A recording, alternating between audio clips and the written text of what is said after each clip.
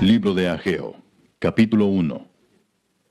En el año segundo del rey Darío, en el mes sexto, en el primer día del mes, vino palabra de Jehová por medio del profeta Ageo a Zorobabel, hijo de Salatiel, gobernador de Judá, y a Josué, hijo de Josadac, sumo sacerdote, diciendo, Así ha hablado Jehová de los ejércitos, diciendo, Este pueblo dice, no ha llegado aún el tiempo, el tiempo de que la casa de Jehová sea reedificada. Entonces vino palabra de Jehová por medio del profeta Ageo diciendo, ¿Es para vosotros tiempo, para vosotros, de habitar en vuestras casas artesonadas, y esta casa está desierta? Pues así ha dicho Jehová de los ejércitos, meditad bien sobre vuestros caminos, sembráis mucho y recogéis poco, coméis y no os saciáis, bebéis y no quedáis satisfechos, os vestís y no os calentáis, y el que trabaja jornal recibe su jornal en saco roto. Así ha dicho Jehová de los ejércitos, meditad sobre vuestros caminos, subid al monte y traed madera y reedificad la casa, y pondré en ella mi voluntad y seré glorificado, ha dicho Jehová. Buscáis mucho y halláis poco, y encerráis en casa, y yo lo disiparé en un soplo. ¿Por qué? dice Jehová de los ejércitos, por cuanto mi casa está desierta y cada uno de vosotros corre a su propia casa. Por eso se detuvo de los cielos sobre vosotros la lluvia, y la tierra detuvo sus frutos.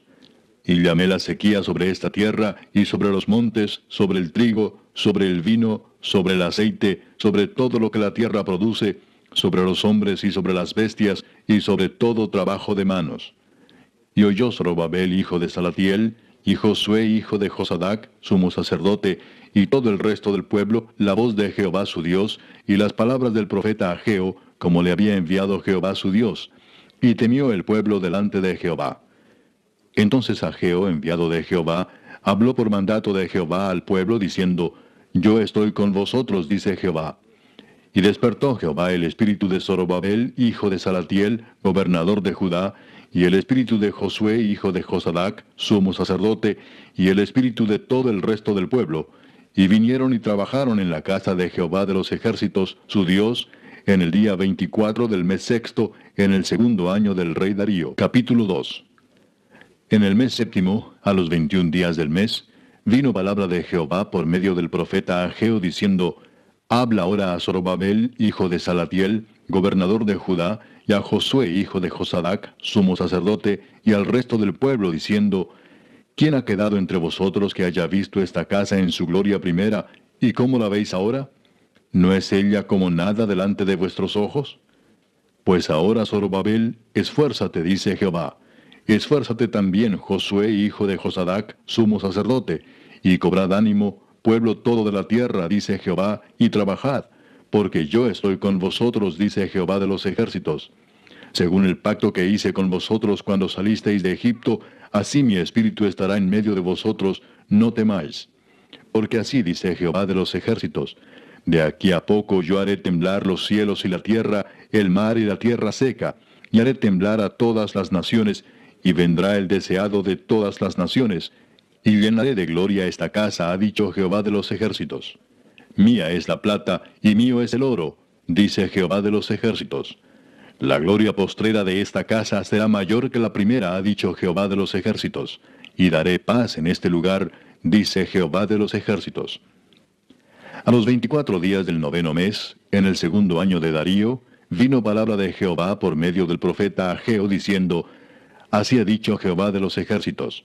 Pregunta ahora a los sacerdotes acerca de la ley, diciendo, si alguno llevare carne santificada en la falda de su ropa, y con el vuelo de ella tocare pan, o vianda, o vino, o aceite, o cualquier otra comida, ¿será santificada? Y respondieron los sacerdotes y dijeron, No.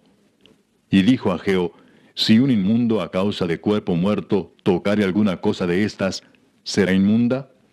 Y respondieron los sacerdotes y dijeron, Inmunda será. Y respondió Ageo y dijo, Así es este pueblo y esta gente delante de mí, dice Jehová. Y asimismo toda obra de sus manos y todo lo que aquí ofrecen es inmundo.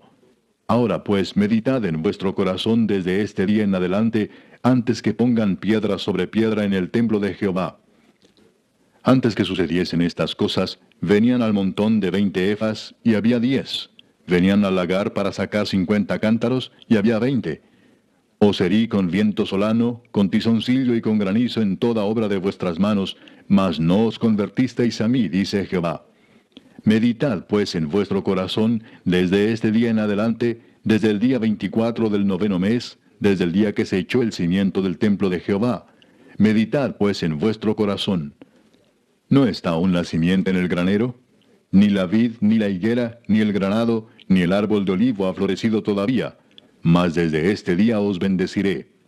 Vino por segunda vez palabra de Jehová a Ageo a los veinticuatro días del mismo mes, diciendo, Habla a Zorobabel, gobernador de Judá, diciendo, Yo haré temblar los cielos y la tierra, y trastornaré el trono de los reinos, y destruiré la fuerza de los reinos de las naciones. Trastornaré los carros y los que en ellos suben, y vendrán abajo los caballos y sus jinetes, cada cual por la espada de su hermano.